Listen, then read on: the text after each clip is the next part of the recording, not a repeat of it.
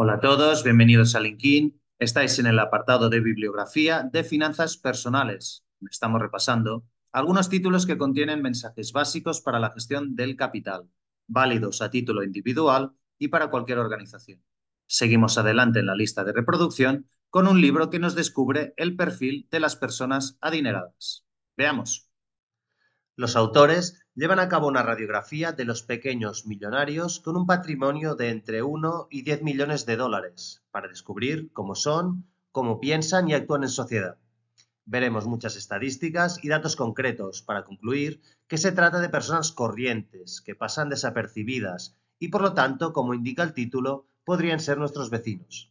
Vamos a hacer un resumen de las ideas principales del libro. Según mi opinión, uno de los puntos más interesantes es la definición que los autores hacen de mar versus bar, mal o buen acumulador de riqueza, y que definen del siguiente modo. Un bar tiene una edad multiplicado por una renta anual y dividido por 10 superior a su patrimonio neto. Para llegar a ser millonario hay que ser un bar. En este punto hay que distinguir entre riqueza, acumulación y renta unos ingresos muy elevados se pueden compensar con unos gastos también elevados. Los millonarios, en cambio, tienen un patrimonio neto, descontando deudas, suficiente como para vivir mínimo 10 años si dejaran de ingresar. Por lo tanto, son personas despreocupadas, mientras que las personas con elevados ingresos y gastos, si pierden el trabajo, se encuentran en la ruina. La mayoría de los pequeños millonarios son personas hechas a sí mismas, es decir, son nuevos ricos, de primera generación. Contrariamente a lo que se podría pensar, estas personas han obtenido su capital fruto de su trabajo y ahorro, siendo perseverantes y metódicos.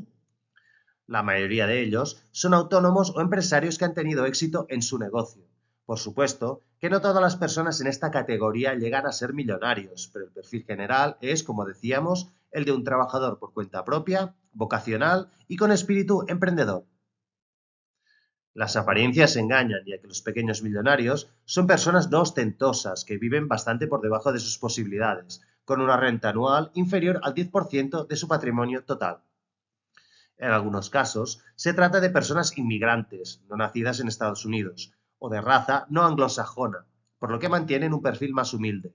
Son personas ahorradoras, no solo ellos, sino toda su familia tienen buenos ingresos y al mismo tiempo controlan los gastos definiendo un presupuesto anual, distinguiendo incluso conceptos.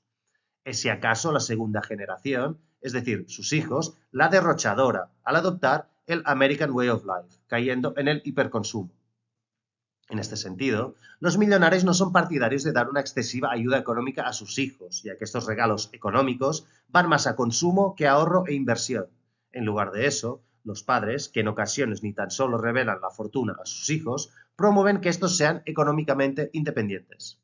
No son personas que tengan ropa o coches caros. En lugar de eso, se dedican a invertir lo ganado en activos que generen una renta y también invierten en educación. Consideran que la independencia económica es más importante que exhibir un alto estatus, ya que esa libertad proporciona mayor felicidad que el círculo vicioso del trabajo-consumo. Respecto a las personas que viven para sus posesiones para poder gastar cada vez más y que emplean mucho tiempo en ir de compras como si fuera un hobby, los millonarios disponen de más tiempo para planificar su futuro económico. Estudian las inversiones con calma, por lo general en sectores y productos conocidos. No son especuladores, sino que plantean las inversiones a largo plazo.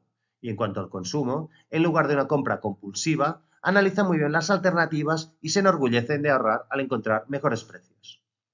Los millonarios, incluso los asalariados, pagan pocos impuestos teniendo en cuenta su patrimonio. Esto es porque sus ingresos provienen mayoritariamente de otras fuentes y los tipos impositivos del capital, de una sociedad o de actividades económicas es muy inferior al de las rentas del trabajo. Además, al invertir, gozan de ganancias no realizadas y esa revalorización del capital no paga impuestos hasta que no se deshace la posición. Muy bien, pues hasta aquí este repaso. Veréis a continuación los enlaces para seguir adelante con la lista de reproducción y también a la página principal del canal para que veáis cómo están estructurados los demás contenidos.